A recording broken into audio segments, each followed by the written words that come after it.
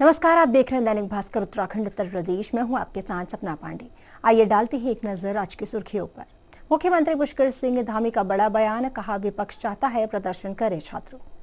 उत्तराखंड में निकायों की ज़िम्मेदारी संभालेंगे बीडीओ और एसडीएम, शासन स्तर पर प्रस्ताव तैयार।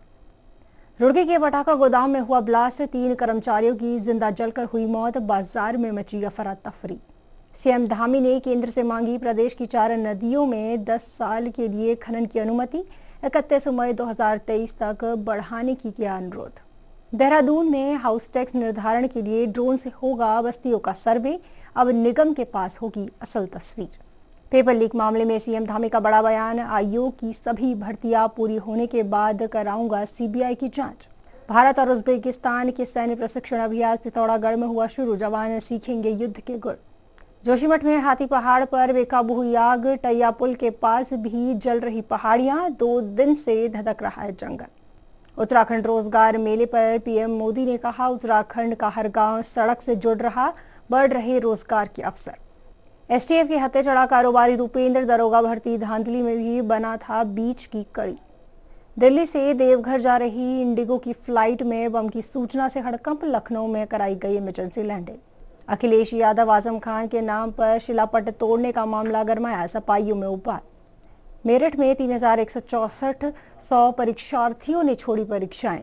छात्राएँ बोली, आसान था गृह विज्ञान का पेपर। मुरादाबाद में मकान खाली नहीं करने पर हुई हत्या, ईट से सिर कुचल कर की निर्मम हत्या।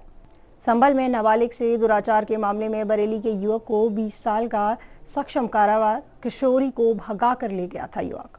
देवरिया में दिल्ली की युवती से दरिंदगी रेलवे स्टेशन के पास ढाबे पर किया सामूहिक दुष्कर्म, खून से लथपथ मिली। लखनऊ में बोले सीएम योगी, निवेश को ज़मीन पर उतारने के लिए काम शुरू, शहरी क्षेत्रों में छह हेक्टेयर का लैंड बैंक तैयार। यूपी बजट सत्र पर मायावती बोली, राज्यपाल का अभिभाषण सरकार की विफलताओं पर पर्दा डालने वाला। सहारनपुर में खूनी संघर्ष, दो पक्षों के बीच चले लाठी डंडे और धारदार हथियार। फायरिंग का भी आरोप, पाँच लोग घायल। और काशी में बनेगा देश का पहला रोपवे ट्रांसपोर्ट। एक बार में 4500 यात्री करेंगे सफ़र। कैंट में गदौलिया तक पहुँचने में लगेंगे पंद्रह मिनट। सुर्खियों में आज के लिए बस इतना ही। उत्तराखंड, उत्तर प्रदेश की सभी खबरों से जुड़े रहने के लिए देखते रहिए दैनिक भास्कर उत्तराखंड, उत्तर प्रदेश।